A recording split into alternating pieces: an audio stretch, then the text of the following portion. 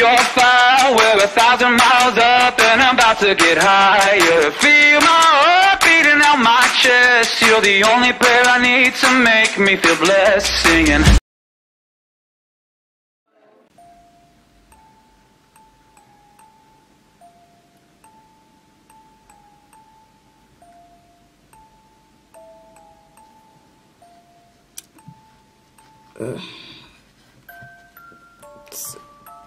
Co jest?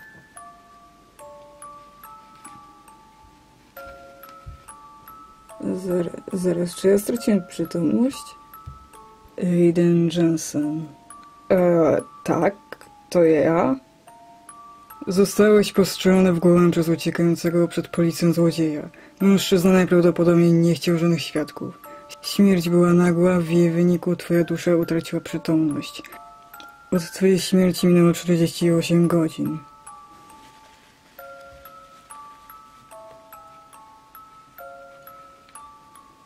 Życzę powodzenia. Cz- Czekaj, czyli, czyli ja nie Czekaj, hej, wracaj mi tu! No witamy kolejną niespełnioną duszę. Mogę wiedzieć chociaż kim ty jesteś? Jestem Chase, jeden z łączych duchów. Myślę, że przyda ci się mała oprowadzka po świecie z naszej perspektywy.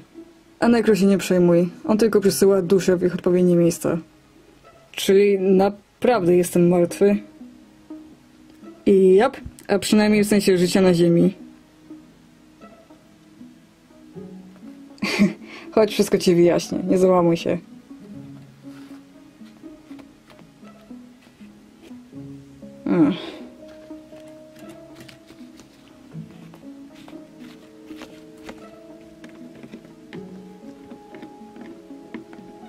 Wiesz, normalnie po leżeniu tyle godzin na ziemi wolałbym chyba rozruszać trochę łapy, ale jednak wolałbym, abyś ten spokojnie mi wyjaśnił, co tu się dzieje.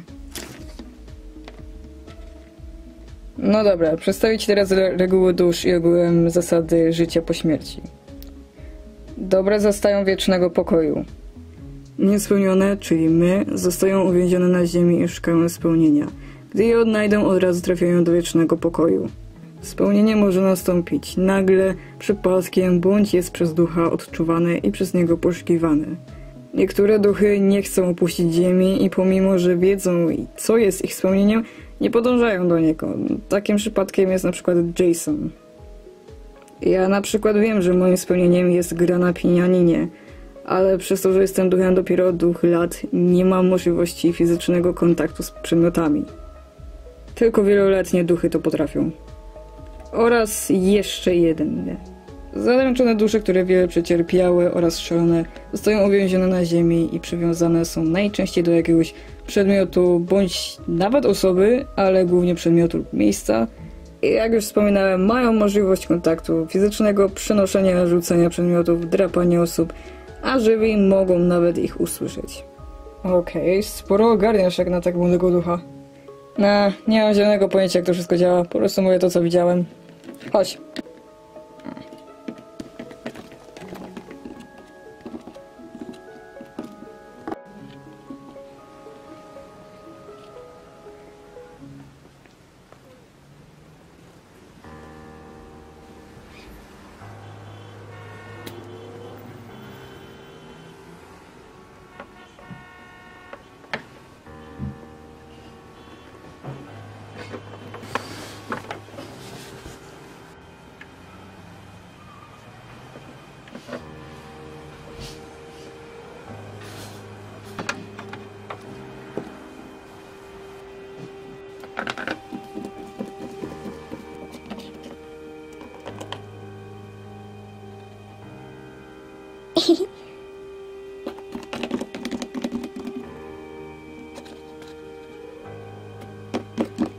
Dosyć dużo jest tutaj duchów, nastolatków i ogólnie młodych osób. No cóż, młode, niedoświadczone życia mają największe szanse się tu znaleźć. Nie zdążyło osiągnąć czegoś ważnego dla ich duszy za życia, no to teraz go szukają. Nie wiem, czy wiesz już, co jest twoim spełnieniem oraz czy będziesz tu chciał zostać na dłużej, czy nie, ale mogę zaprowadzić cię do miejsca, w którym przebywa młodzież. Że młode duchy? Dokładnie. W sumie to nie każdy młody duch tam przychodzi, bardziej jest to miejsce przyjęte przez naszą paczkę, ale każdy jest tam mile widziany.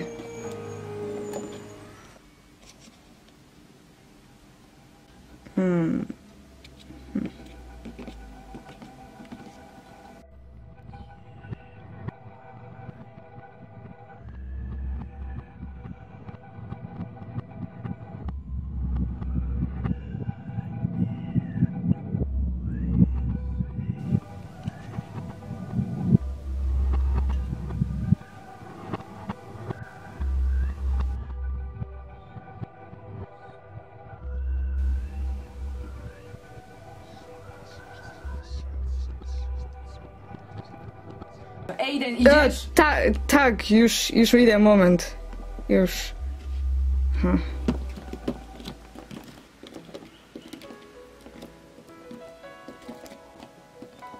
Um, dokąd tak dokładnie mnie zabierasz? no chyba się nie boisz. No a jaką mam pewność, że nic mi nie zrobisz? Stary, ty już jesteś martwy, już nic nie można zrobić. A przynajmniej nie fizycznie. Chodź.